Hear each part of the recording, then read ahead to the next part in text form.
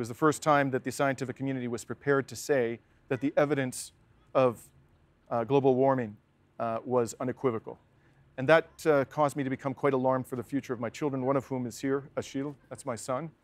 So I looked across the political spectrum and decided there was only one party that was actually serious about taking on the climate emergency, and it was the Green Party of Canada. I've seen people come over from the Liberal Party and say they are fed up and they want to see somebody from the Green Party uh, who's putting forward this kind of a platform become the leader of the Green Party because it's going to force the Liberal Party leadership to shift in a progressive direction in order to maintain you know, its place in Canadian politics. I think if, you, if, if we can get somebody with that kind of a vision at the head of this party, the whole conversation in, this, in, this, in, in Parliament is going to shift left for all the parties. Eight million Canadians didn't vote in the last election. I think overwhelmingly because they feel they've been abandoned, are going to become engaged in the political process.